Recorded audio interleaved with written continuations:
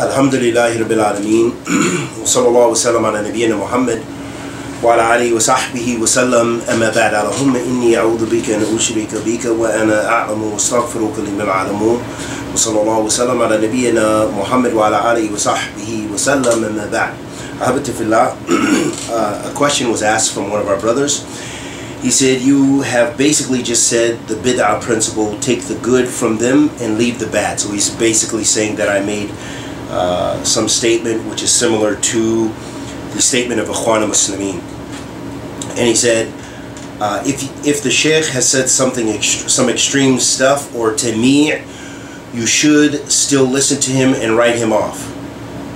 Uh, the brother wasn't clear.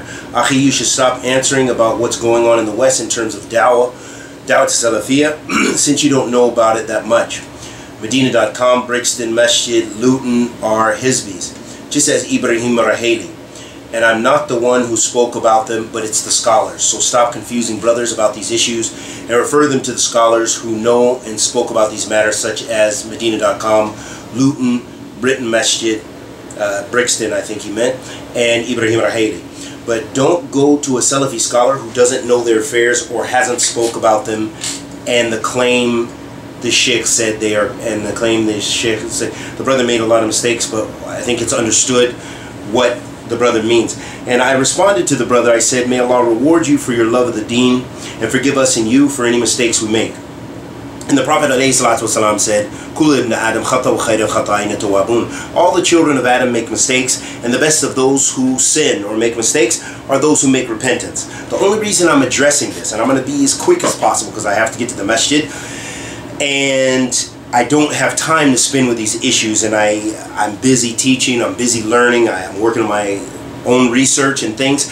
So I'm going to do this as sharp as I can and quick as I can and I'm not going to be able to give this subject a hop. It really requires a book and we could really compile some beautiful uh, statements from Kitabillah wa Sunnat Rasul Sallallahu Wasallam and the uh, Athar of the Salaf of this Ummah and the contemporary Salafi scholars from Ahl Sunnati wal Jama'ah. So I said to my brother, I said, uh, I think you have mistakenly understood what I said and what I meant. As with many of my talks, I distinguish between how we deal with Ahl Sunnah and Ahl Bid'ah. As our ulama mentioned, that there's different ahkam, different rulings, and this is not the time and the place, but in general. Ahl Sunnah, when they differ between each other, which they have differed since the time of the Sahaba radiallahu majma'in, have had differences on Masail al-Fiqh. The Sahaba radiallahu majma'in had different ijtihadat, and they refuted one another but they did not make tabdi' or takfir of one another. That's the difference. And tafsiq. They didn't do this. That's the difference between you and I in, the, in this time and age, is there's so much tafsiq, tabdi' with takfir, بغير ilm. Without the ilm, without the hujjah, without the dalil to do so, the evidence, without the qudra, without the ability to do so, and many, many other masail that are, are pertinent to this. So it's very important to speak with ilm. Very important to speak with ilm. And Allah subhanahu wa ta'ala says, Hatu burhanakum in kuntum sadiqeen. Bring your dalil if you are truthful. Okay. So Ahl Sunnah, they different, differentiate basically between Ahl Sunnah if there's issues, uh, whether it's in Aqidah, that some mashayikh, uh, a sheikh is mistaken in or said a statement or what have you, they have to bring dalil. Okay? For whatever we say, we bring the dalil.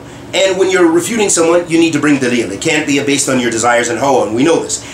And the way Ahl Sunnah deals with one another is with respect and mercy. And we're going to bring some kalam of one of our senior scholars of this time who's known for refuting Ahl Bidah, some beautiful statement, a beautiful statement of his. And we'll try to be quick, and forgive me for being too quick.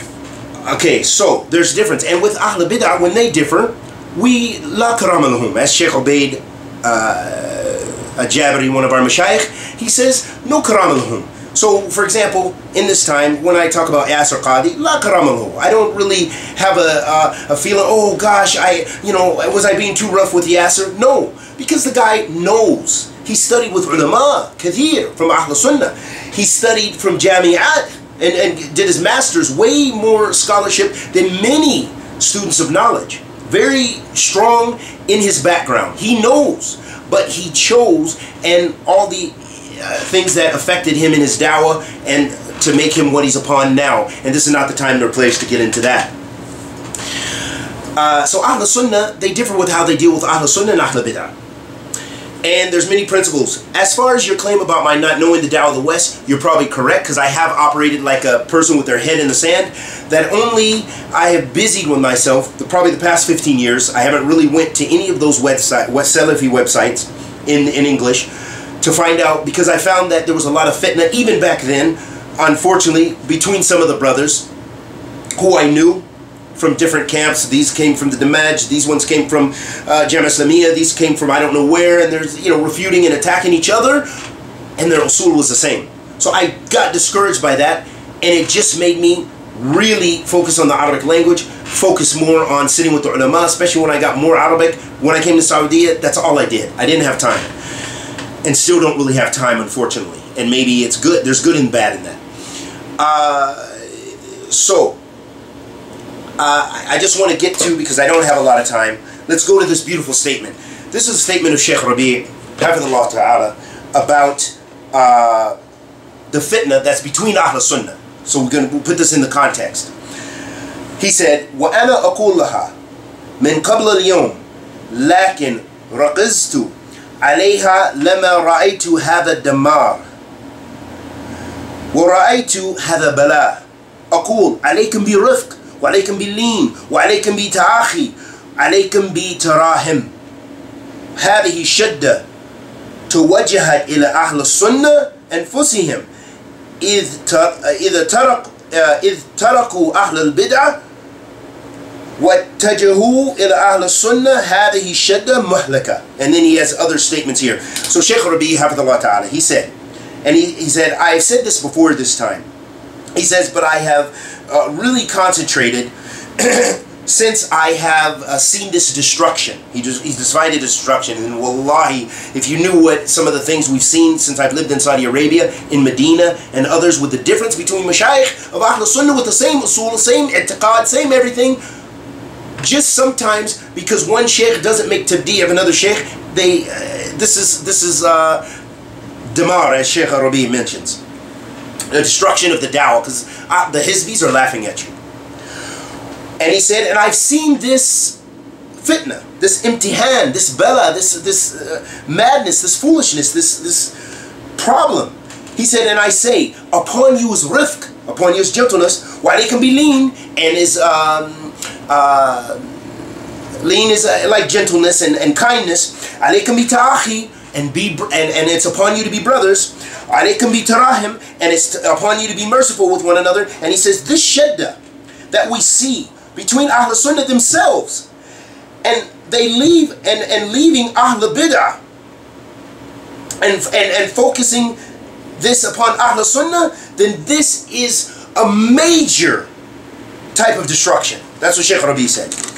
Sheikh Ubaid mentions, and I, I don't have time to translate, he said, وَهَكَذَا أَهْلُ السُنَّةِ فَإِنَّهُمْ يَنْظُرُونَ إِلَى مُخَالِفٍ وَإِلَى مُخَالِفٍ فَالْمُخَالِفَ لَا تَخْلُو مِنْ حَالَيْنِ He said, mukhalif, when people have mistakes, they don't uh, depart from these two ways. First, he mentions, he mentions, mentions in his book, Sharh Sunnah, uh, in his explanation of Sharh Sunnah, uh, in the tapes especially, I remember, and uh, many other, in any of his books. And he mentioned that these two times, in general, because really we, I want to give it the haq, but I can't.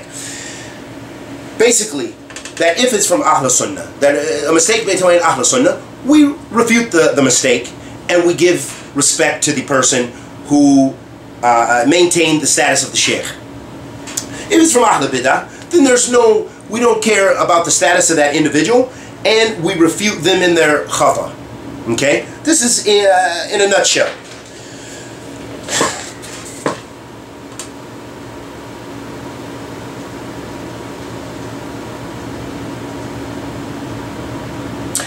And there are some beautiful, beautiful statements that I, I, I, need to read. And it's the only way I can give this the haq, and I've lost them. Uh, to give this some uh. But anyone who knows about the Sul and has studied with uh, the ulama, and this was some beautiful kalam of Sheikh uh, uh, Sheikh uh, Muhammad uh, Muhammad Bazmul, and he was mentioning uh, one of the sta the statements he mentioned uh, was about La ilaha illallah. Forgotten. Uh, but I, I'm going to end because I don't have time and I do need to go. But I do want to say that if we stick to the ulama of Ahl Sunnah and we learn how to make our how to deal with our differences and we beware of just making taqleed and this comes with ilm the more knowledge you get the less you're confined and restricted by taqleed you don't have to say oh bin Uthaymeen said that. That's that's it. That's the only goal. No. Maybe bin Baz differed slightly in his statement. Maybe bin Baz differed in that issue. Maybe Sheikh Muqbil said something else. You have the ability to analyze what those mashayikh said and then you can make an educated choice. But the one who's confined to taqlid and confined to translation especially, then they're confined to what those translators put out to them, and they're confined, if those translators only translate from two mashayikh, three mashayikh, four, five, whatever the case may be, then you're confined to those three, four, and five mashayikh, and that's it. And then you say statements like, this is why I don't say, I only say statements of the scholars if I know many scholars of Ahl Sunnah hold this. But if it's one or two mashayikh, I, am not going to say the scholars said, meaning that all the scholars or a huge amount or some amount, because it may be two scholars from Ahl Sunnah who differ with many others on a particular issue. And this is the thing with the Sheikh Ibrahim Ar-Ruhaili thing, and I, I is, and that's why I don't want to delve into it, but I'll just say this again for those people, criticize me, I don't care. Whatever you say, I really don't care. Whoever listens to me, I really don't care. The main thing is, I want to spread khair while I'm alive. While I'm still alive, as I'm getting older, I want to spread something good. And I spent a lot of years collecting books, learning something from these books, sitting with different mashayikh. That for sure I've sat with many, many mashayikh, and that's a fadl min Allah. That doesn't mean I have ilm, and it doesn't mean I benefited tremendously from all those mashayikh. I, I definitely don't say that. I say I benefited me personally because I learned a lot about my religion I didn't know. But what, what, what I'll say is do not is, is knowledge will free you from some of this masiba. And with the issue of Sheikh Ibrahim Ar-Ruhaili, I bought everything I could find on the market, as I said before. Everything. Any book I could get. I've listened to countless recordings. But I have, mashallah, books, and I have the books that he wrote as refutations. And I've listened to how many mashayikh, if you have a problem with me, then that makes you must have a problem with uh, Sheikh Salim Suhaimi, an alim, and if you have a problem with him, then I mean you don't need to talk, really. I mean, you know, that's your goal, that's your opinion, but it's not based on ilm wa fiqh wa dalil وأحكام uh, sunnah wa وكيف يعني يعمل مع المخالف then I don't, I don't really want to hear it. And if you have a problem with Sheikh Suleiman Ar-Ruhaili who doesn't make tabdi of him, and do you have a problem with Sheikh Abdul Muhsin, but you have a problem with me, who am I? I'm no one.